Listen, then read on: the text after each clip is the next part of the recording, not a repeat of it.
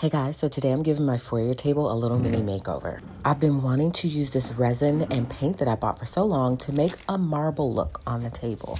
I think I can do it, although I've never worked with resin before. So I just start by cleaning the table and then painting it with this chalkboard paint that I picked up from Amazon.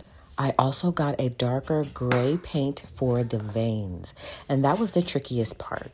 So I coat the table with the whitish color paint because it's not a true white, but I do love it. And then I start with the veining process. Although it was fun, it was a little bit tricky and it took a couple of takes to get it the way I wanted.